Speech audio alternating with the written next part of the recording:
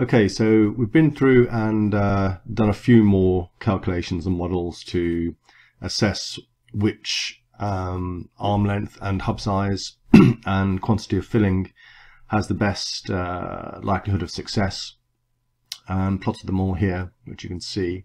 Now the one that um, comes out the, with the best differential in the with gravity direction, so anti-clockwise, is this, giving us a 14.48% uh, benefit.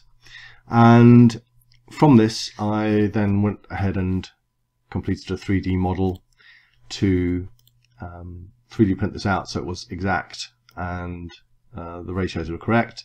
So using this hub and then creating these arms which slide onto those hub points with a hole for filling so that we can get these accurate and then went ahead and uh, printed those as shown uh, here.